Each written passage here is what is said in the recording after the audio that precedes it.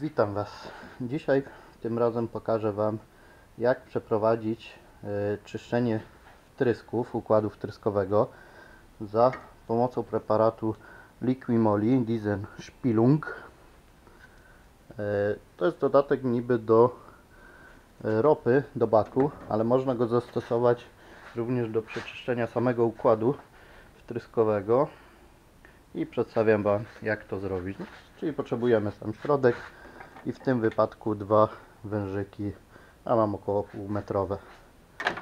E, To jest silnik 1.6 HDI. Można, zasada działania będzie podobna w każdym dieslu, trzeba tylko zlokalizować przewody paliwowe, które należy rozpiąć i włożyć do pojemnika. A za chwilę Wam pokażę jak to zrobić. Czyli tak, w pierwszej kolejności musimy zlokalizować sobie przewody zasilania i powrotu, które idą z baku. W tym wypadku mamy tutaj dwie złączki. Robimy tak, że rozpinamy za pomocą wciśnięcia i wyciągamy. I drugi powrót to samo. Odkładamy sobie na bok, żeby nie przeszkadzało. I zakładamy na to wężyk. Czasem jest tak, że są dłuższe przewody, jest ich więcej, po prostu wystarczy, żeby bezpośrednio włożyć do puszki. W tym wypadku musimy sobie przedłużyć, ale nic to nie jest skomplikowanego. Wkładamy po prostu wężyki na złączki. Odkręcamy sobie preparat, wkładamy obydwa węże. O, nawet dużo. Wkładamy, ustawiamy tak, żeby puszka nam się nie wywróciła, jak zacznie pracować silnik. Widzimy, wygląda to tak. Puszka, włożone dwa przewody do puchy, podłączone do przewodów zasilających i powrotu i w ten sposób odpalamy auto.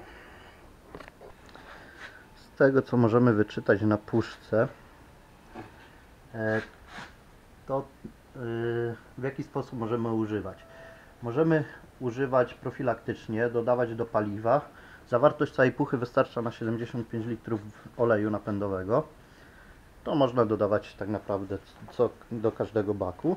Aczkolwiek nie wiem, czy do końca jest to dobra opcja, bo rozpuszcza, też, rozpuszcza to też syf, który jest nagromadzony w baku i całym układzie paliwowym.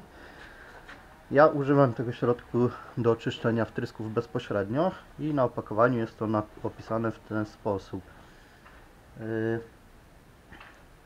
Użycie w przypadku nagłych problemów z silnikiem, odłączyć zaciski przewodu zasilającego i powrotnego paliwa i wprowadzić je do pojemnika. Uruchomić silnik, środek czyszczący zasysany jest bezpośrednio przez pompę wtryskową, pozwolić silnikowi pracować przy różnych prędkościach obrotowych, wyłączyć przed opróżnieniem puszki, żeby nie zapowietrzyć układu. To co? To teraz robimy tak, że stawimy sobie ten pojemnik, żeby nie wypadł i odpalamy motor. Dobra, teraz odpalimy auto. Będzie pracował sobie na tym środku. Pozwolimy mu pracować na różnych obrotach i zobaczymy jakie efekty przyniesie nasza płukanka.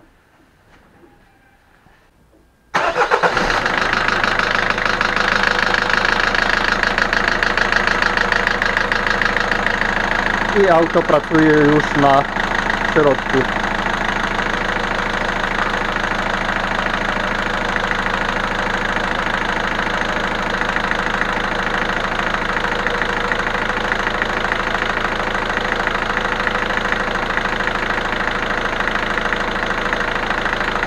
Zostawimy go tak do uzyskania temperatury przez silnik odpowiedniej i później zrobimy e, parę takich przegazowań, znaczy potrzymamy po prostu po kilka minut na różnych, różnym zakresie obrotów.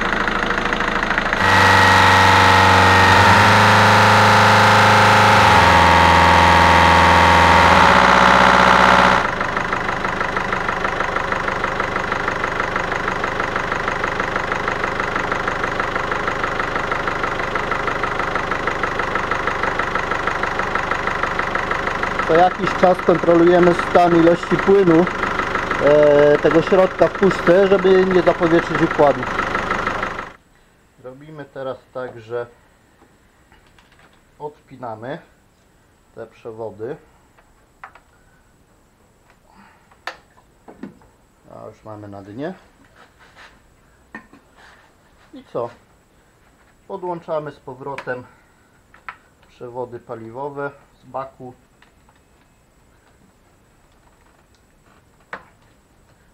Mamy na miejsce. Tu akurat mamy pompeczkę, możemy troszeczkę podpompować, aczkolwiek na takie krótkie rozpięcie i jak jest sprawny zawór zwrotny tam w saku w baku, to nie ma problemu. Układ nam się nie zapowietrzy. Czyli pokrótce tak by wyglądało wyglądała ta procedura procedura czyszczenia tryskiwaczy za pomocą środka Liquid Moly. Czy ten środek działa i takie półka nie działa?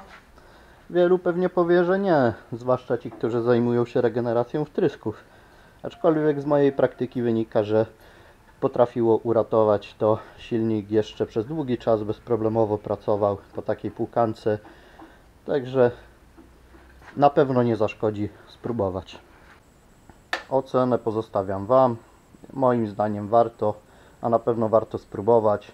Nawet mniej to kosztuje niż od razu regeneracja wtrysków, a czasem potrafi to na dłuższy czas rozwiązać problem. A tak wygląda ilość ropy po przeprowadzonym czyszczeniu wtrysków. Efekt może nie jest jakoś mega spektakularny, ale mniej więcej wyrównało się ilość przelanej ropy. A jak wykonać y, próbę przelewową, możecie zobaczyć w moim poprzednim filmiku, gdzie Was zapraszam. No i co, jeśli chcecie więcej takich tutoriali, poradników, proszę o subskrypcję, łapkę w górę. Ok, to by było na tyle. Trzymajcie się. Cześć.